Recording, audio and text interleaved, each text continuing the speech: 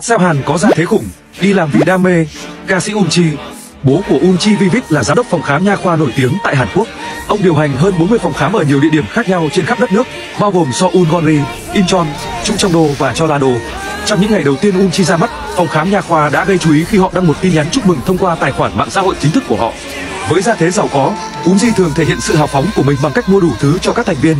Được biết, các thành viên G-Friend thường gọi cô bằng cái tên Unka, có nghĩa là thẻ của Unchi. Ca sĩ diễn viên Pio, thành viên Blackpink kiêm diễn viên Pio cũng là một idol ngậm thìa vàng nổi tiếng. Cha anh điều hành cửa hàng miễn thuế trực tuyến đầu tiên của Hàn Quốc.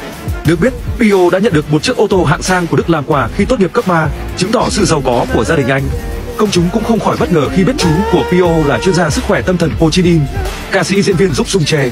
Bố của Giúp Sung Che, thành viên nhóm nhạc nam BTOB, là CEO của một công ty sản xuất linh kiện trên không, đối tác của công ty S. Tính đến năm 2021, công ty của bố Giúp Sung chưa được xác nhận vượt mốc 22 tỷ won doanh thu hàng năm, nằm trong top 10% của ngành. Không chỉ vậy, ông ngoại của Giúp Sung Chê còn là người đầu tiên đưa cá coi, một loài cá cao cấp đến Hàn Quốc và bắt đầu mở một trang trại nuôi cá. Bà của anh ấy thậm chí còn điều hành một trang web câu cá rộng 15.000m. Diễn viên Lee Ji Kun người trong làng giải trí Hàn Quốc ai cũng biết Lee Ji Kun ngậm thìa vàng. Bố của anh được biết đến là người đã làm việc chăm chỉ khi còn là một nhân viên bình thường và trở thành CEO của một công ty lớn. Bố của Lee Ji Kun giữ chức CEO tại một công ty con về điện tử và hóa chất của tập đoàn lớn L. Năm 2014, khi giữ chức CEO, mức lương hàng năm của ông là hơn 1 tỷ won.